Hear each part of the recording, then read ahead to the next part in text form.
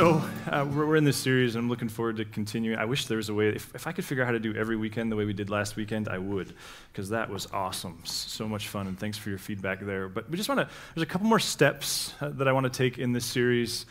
And the first one, well, one way to launch in is so when I was in my early 20s, actually, I think I was 20, and I started hanging out like I wasn't raised in church culture environment, and so in my late teens, early 20s, started hanging out in this college and career group thing, which is actually where I met Teresa and I, had been to house gatherings, but never the ones like this. And one of the things that they would do to introduce people, I don't know if it's still the thing, but they would always play this like two truths and a lie game, and that's how you introduced yourself to people. And as an introvert, like that was my version of hell. I just wanted to sit in the corner. So I just developed a script, and it was what I used at all of them, whether people had already heard it or not. And my, my, my two truths and a lie, in no particular order, were uh, one time I met Mr. T, one time I played catch with Ozzie Smith, and one time I spent a Saturday in, in Warm Springs. Pretty good one, huh?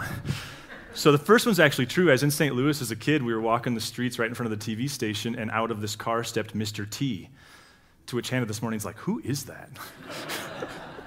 Eh, we have a picture of the guy, yes. So, which I was thinking too, it says something about our culture because 20 years ago, 30, 30, 40 years ago, my goodness. Like he was a beast, right? He was huge. And by today's standards of weightlifting and nutrition and all that, he's really not that big. But I did actually shake his hand, and he wasn't all that large. And I did actually spend a Saturday in, in, in Warm Springs. There was this time, it was around this time of year, uh, my uncle, who lives in Seattle, had bought a Taurus wagon from his brother in law. It was a lesson never to buy vehicles from family because he flew back to Billings to buy this Taurus and he was driving it back to Seattle. He had little kids. And around Butte, we started, and so I decided to ride with him because my mom lived in Missoula, so he was going to deposit me in Missoula because she was going to help me buy collared shirts and clothes because I was at the time going to go to a Bible school in Portland that I'm really glad I didn't end up going to which is not a comment on them, it's on me. But anyway, the, around Butte, the car started having problems. Uh, by Warm Springs, the car quit, and we were able to kind of limp it off the interstate right at the exit, right at Warm Springs. And I checked it out this fall when we went biking in Anaconda. There's, at the time, it's still there. There was this bar. Like the only thing there off that exit was this cinder block building bar. It was the only thing that sat there. It's still there today, but it's not open. And so it was cold like this. The roads were bad. This was pre cell phones and iPhones and Wi Fi and all that stuff. So we walked over, is probably like a quarter mile or so, over to this bar in the freezing cold. And of course, we had to find a payphone, but we had to get change. And then we were. We walked into this bar, and it must have been, I bet it was like 9 or 10 in the morning when we first got to this bar. And there was one lady working, and there was one guy sitting behind the bar who did not bother to greet us. Let's just say that. He had, his, uh, it was, a, it was a, he was a, a, little, he looked like somebody who probably had the night shift, probably had a really hard job, blue collar type job, probably long hair, long beard, and he was hunkered over the bar at 10 a.m. or whatever it was. So that tells you a little bit about the, the context. And so we would stay just long enough to where it felt like we're warm enough to go back out there. And, you know, he, as, especially as men, you just have to open the hood and pretend like you know what you're doing, you know? Like, we just open the hood and stand around and stare. And we were waiting for my grandpa to come get us from Billings. And we go back to the bar when we were freezing. And finally, it was 11 o'clock. And I think this might have been the first year after Elway had retired, but I knew in my head that the Bronco game had started. And so it was in this very uncomfortable environment. I, there was this one TV behind the bar. I said, Hey, the, the Bronco game's on. Can we watch that? And the guy turned and just eyeball to eyeball and looked right at me and he said, F the Broncos. and that was the end of it. Condemnation is kind of what I want to talk about. I thought that'd be funnier. You guys didn't think that was very funny, but I, I was scared to death. You know, there's this device that I all too often use as a parent. Uh, there's this device that I all too easily use as a spouse or a friend or a leader or even in my own head. I can use it when I watch politics on TV. I, I can use it all the time. And this morning, I, I think. I think I want to talk more about parenting and relationship and friendship than I do politics, but I do think it applies there as well. But really, I think it starts by asking this question of how do we hold in tension the fact that I'm right, I'm entitled to an opinion, uh, with the fact that so are you, so are they, so is she, so is he. And that doesn't even necessarily mean that both of our opinions are equally like accurate, But it does seem like when, when, what happens in life in particular, and especially what's happening in the political sphere, but I think what happens in parenting when there's age difference, or in marriage, or in, in leadership, is there's this reality of I, I want, I want to claim my God given right for influence, but I don't want you to claim yours. And there's a tension that, that comes about from all that. And, it, and it's made all the worse if you're someone who's trying to allow the, the narrative of Scripture to, to frame your life. Because from the very beginning of this story, that there's some things that are both convenient and inconvenient that, that happen. And the first one is that God gives God's power away. I mean, it's like almost at, times it feels willy nilly.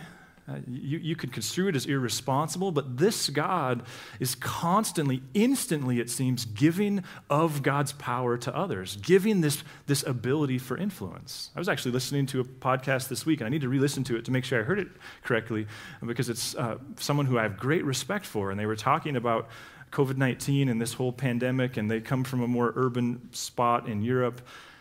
And, and he, he actually went so far as to say that if you're being cavalier about COVID, and as a result, cause your 85 year old grandma to get COVID and she dies, that, that's akin to, to manslaughter. And you know, it's those weird things when you hear someone you really respect and you don't necessarily know if you agree. And I, I guess I don't, I don't know what my final view on that is, other than to say, the extent that that's true, then God is guilty of manslaughter every second because God is constantly giving power away. And that doesn't mean that there doesn't have to be boundaries, and that's why we have laws and there's all these kinds of things, guardrails that we have to do. But I do think interpersonally, in marriage, in parenting, in being parented, and being the boss, and being the employee, and being on the team, and being the coach, it creates this tension between like what, what do we do with the fact that you're made you're made for influence and so are they and so, how do we claim our God given right without stepping all over the other person who's claiming theirs? And, and I think part of what makes this tricky is it's, it's different with a two year old than it is a 12 year old, than it is a 16 year old, than it is a 26 year old. And how do we navigate this? And so, what I want to do this morning is uh, there, there's a particular spot in the Sermon on the Mount where Jesus says some things. And if, if you've been around church for a while, if you haven't, it's great to see you. But if you have, you've probably heard these verses that we're going to look at this morning a, a zillion times in your life. Uh, Dallas Willard does something unique with them that I had never heard before him, and that is he takes them all consecutively and, and, and therefore says Jesus is working on one thought. And what I want to do is, is therefore uh, ask this question of how do we do this? Here's another way to frame this question. Of D- Dallas says this. I got two Willard quotes this morning, and then I'll leave you alone with Willard. But here for me is the epitome of the tension. He says this God has paid an awful price to arrange for human self determination. He obviously places great value on it. It is, after all, the only way he can get the kind of personal beings he desires for his eternal purposes. And I guess this one is a kind of current political comment. I, I just talked with a friend this week who lost two friends of 20 years because he, he chose to take a, a, he, he just took a political stand on a particular issue. And i'm not even necessarily saying he's right or he's wrong but, but he actually shared in one instance with me the, the, the exchange that he had with a friend of 20 years who he had just recently had dinner with who said our friendship's over. And i think jesus word for that would be uh, or statement towards that would be that's called control via condemnation. And there's other ways. So here's this chunk from, from matthew 7 and this, this may be one of those moments where, where Sunday is more about being reminded than learning something new, but uh, for me, it's been really helpful in this season. Jesus says this Do not judge, uh, so that you may not be judged. For the judgment you make, you'll be judged, and the measure you give will be the measure you get. Why do you see the speck in your neighbor's eye, but do not notice the log in your own eye? Or how can you say to your neighbor, Let me take the speck out of your eye while the log is in your own eye? You hypocrite. First, take the log out of your own eye, and then you'll see clearly to take the speck out of your neighbor's eye. And here's where I just want to keep going. Do not give what is holy to dogs, and do not throw your pearls before swine, or they will trample them underfoot and turn and maul you. Ask, and it'll be given you. Search, and you'll find. Knock, and the door will be open for you. For everyone who asks receives, and everyone who searches finds, and for everyone who knocks, the door will be opened. Is there anyone among you who, if your child asks for bread, will give him a stone, or if your child asks for fish, will give a snake? If you then, who are evil, know how to give good gifts to your children, how much more will your Father in heaven give good things to those who ask him? And everything, do to others as you would have them do to you, for this is the law and the prophets. What if what Jesus is getting at here is uh, this, this way of managing the tension, but by, not by way of condemnation and not by way of unwanted advice, but by simple just exchange of ideas? See, that, that first chunk is probably among the most famous things Jesus has ever said, and I, I don't feel the need to, to recover a lot of the ground that's been covered. Obviously, Jesus demonstrates his incredible knack for understanding the human condition because part of what he's exposing in the judge stuff is that, like, what I'm most annoyed by is probably the thing I hate about myself. Like, the thing that I'm most annoyed by in you is, is probably most true of my own crapola. That the thing that, that I most judge in you, and this can get scary sometimes, I think sometimes we've got to listen to ourselves. When we come out really strong against something, that, that, that may be a reflection of something God's pointing out in ourselves. And that, that is obviously what, what he's getting at. Tony Campolo, for me, still captured this better than anybody else when he says, at the very least, what Jesus is saying is when, when you're calling out somebody else for their sin, it better be with a tear in your eye, not a smile on your face, or else you're really not ready to do that. But, but the issue is okay, so how, what, what, what, exactly is happening here? Well, Willard would say that, that what's happening here is, is condemnation. That, that what Jesus is really getting at here, that the nuance of the word judge, and you can do the original Greek stuff, and he does it in the book. If you don't have a copy, let me know. I can make you some copies. But that what Jesus is really getting at here is there's this human propensity to, to, to, to do influence, to, to make change, to confront behavior via condemnation. And I think part of what makes it really tricky, uh, and I think we just have to name the struggle of this one, is at times it seems like Jesus does that very thing. There's this extraordinarily famous event in the life of Jesus. It's unclear exactly where it happened chronologically in his life, but there was this time where he, he strolled into the temple turned a rope into a whip and started throwing stuff around and like beating people with this rope. He, made some declarations. Uh, he, he, quoted from, from his Bible, the Tanakh, and said, my, my house will be a house of prayer for all nations. And there, there's some historical context there. We, we know now that, that the temple aristocracy was taking advantage of lower class Jewish people because they would, they would raise this lamb for sacrifice at the temple, and then they would walk the long journey to the temple, days long journey to the temple, and then they would get to the temple and they would be told, sorry, that lamb's got this flaw in its right earlobe, and so you, you can't offer it. But like an airport, they would say, but conveniently, we can sell you a hamburger. The problem is it's $20. And so there was this, uh, I guess, extortion, I suppose. There's lots of things you could call it. That's probably part of what Jesus is calling out. We also know that the, this market that had been set up was set up in the court of the Gentiles, which speaks to the heart of the God who said, even to Pharaoh, like, hey, I want you to know who I am. The plagues had as much to do with God's desire to know Egyptians as it did Jewish people, and the court of the Gentiles seems to speak to this very same heart of God who, who left a place for people outside of Jewish tradition to come experience the holy. Uh, that there's some suggestion that there's even things happening uh, around at this point in Jesus' life. The temple had become a haven for, the, for those who would lead the resurrection. And this is why in Luke's version, Jesus stands outside uh, the city and weeps and says, Jerusalem, Jerusalem, if only you knew what would bring you peace. There's some evidence that it had become kind of a safe house for people who would lead a rebellion and one that Jesus knew was going to get them crushed. And so that leads to this theological thing called righteous indignation. And it's a reminder that anger is not always wrong. But here's what Willard says about that. And I, I don't. I don't really know what to do with righteous indignation. I know as an Enneagram 1, I don't trust myself with anger very much. I'm rarely able to, to find that moment where it's justified. The other thing, before we go there, sorry, is I also have to remind myself frequently that like Jesus went to the temple at the first time as an eight, eight, eight day old infant. It seems that he was back, maybe it wasn't his first time back, but at 12. His family seems to be in the type of family who probably went to the temple at least once a year. That, that would have been kind of the low bar for a serious Jewish family. Jesus died, we think, at 33.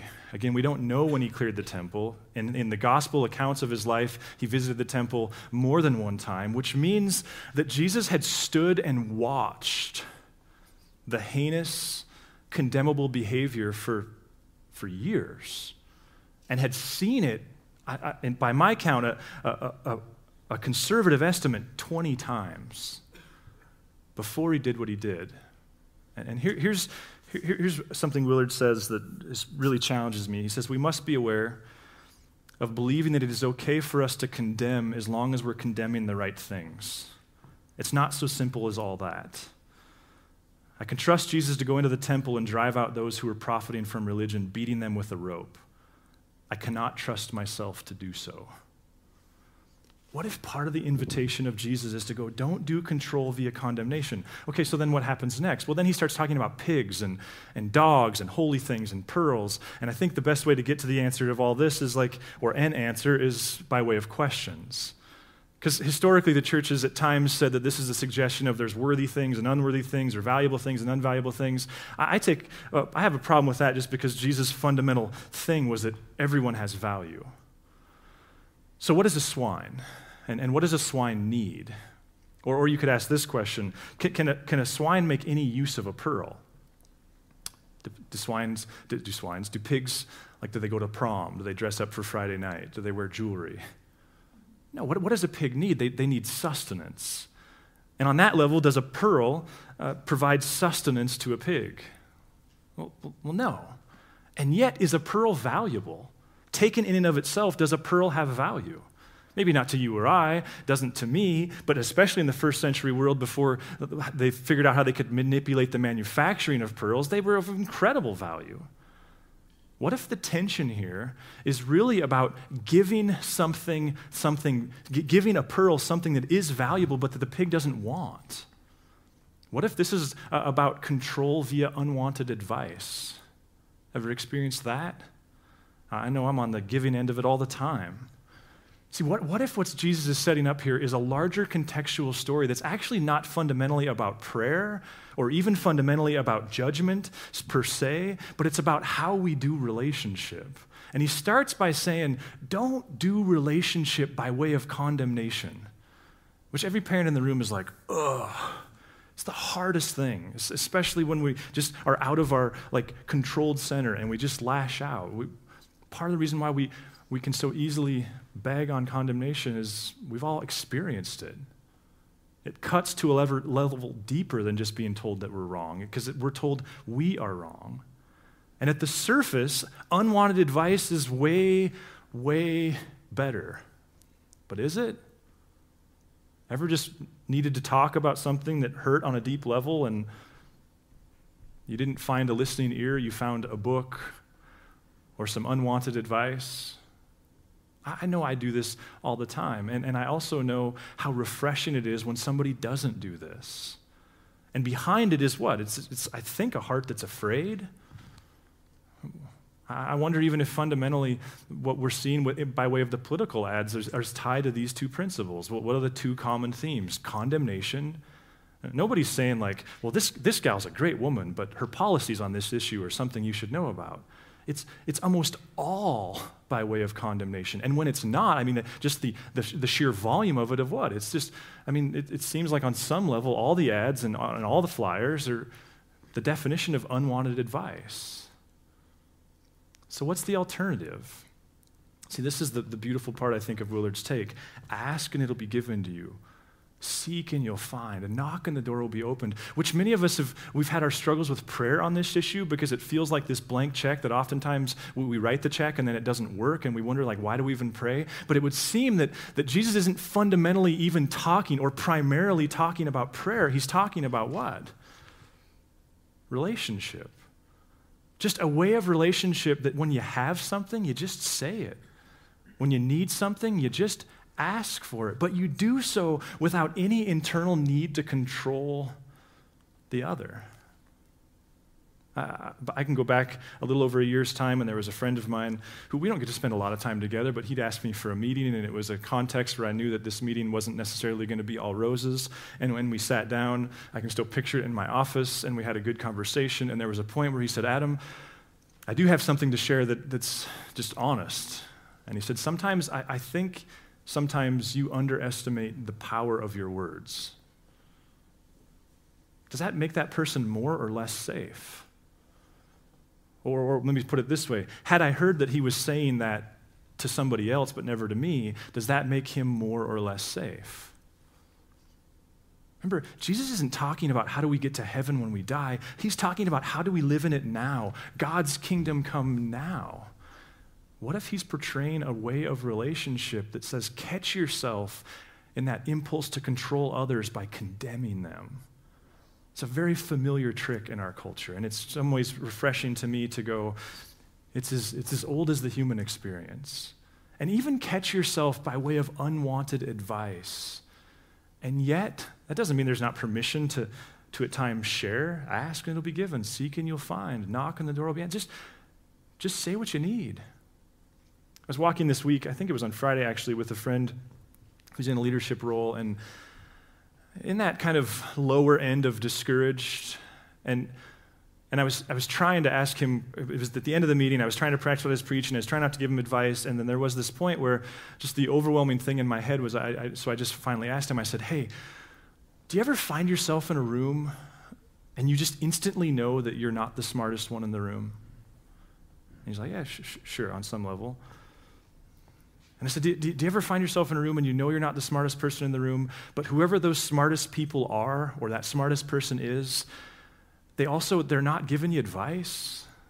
Uh, they're not condemning you. Like, you know they're smarter than you. You know they have input that's better than yours. You know they're the better, a better parent, they're a better person, they're a better character, they're better at following God, and yet you just have this sense that they're with you.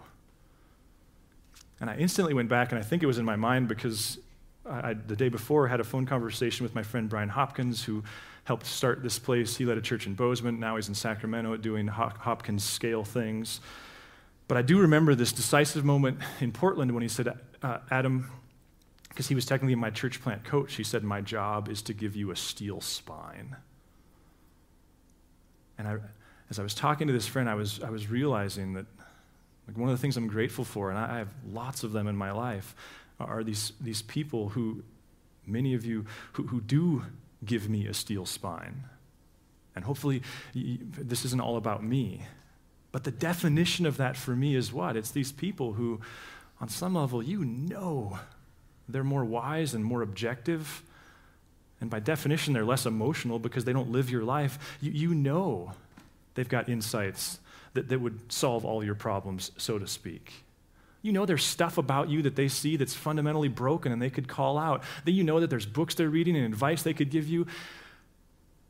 And yet part of what makes them so safe is that that's, that's just really not the culture of the relationship. And yet that also doesn't mean that they're yes people. There's times where they do say stuff. I don't know if all that connects, but for me, it was this end of Friday to go in, I think this is everything Jesus is talking about. Figure out how to be the type of person in relationship who resists the urge to control via condemnation, who resists the urge to control via unsolicited advice, but who also has the type of relationship that when you want something, you can ask for it. When you see something, you can name it.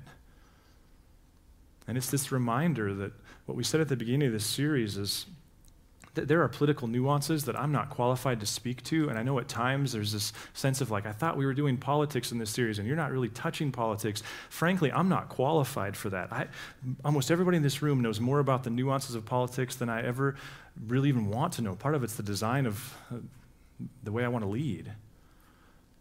But it does seem like Jesus is constantly offering this third way.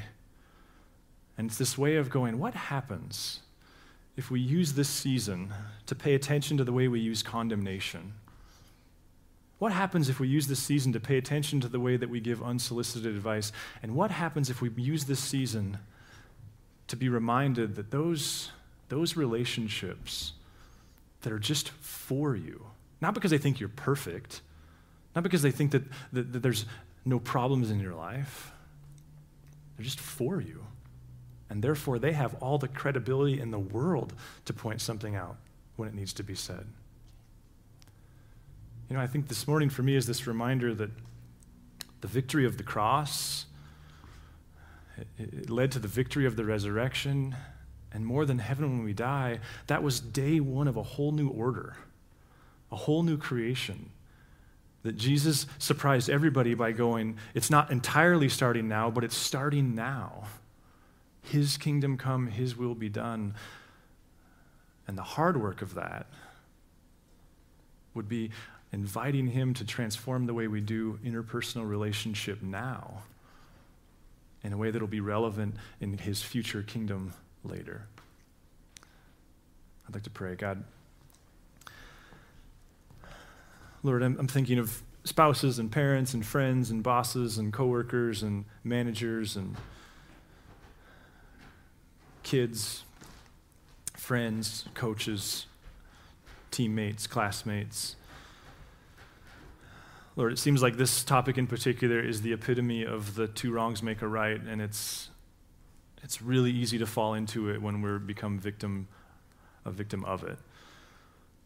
And so we would just ask God for a, a, a clarity of consciousness and, and heart and mind that, that this would be just, just a little Holy Spirit reminder this morning that, that, that there's a different way that we can do relationship and that it involves playing the long game. And Lord, for friends here this morning that they don't, they don't even know what they believe about you or God or Jesus, um, God, my, my hope and prayer for them would be that, that there would be this, this alternative way that, that they would understand is available to them because of who you are. We love you, God. Amen. If you would like to learn more about Narrate Church, find us at narratechurch.org or look us up on Facebook and Instagram.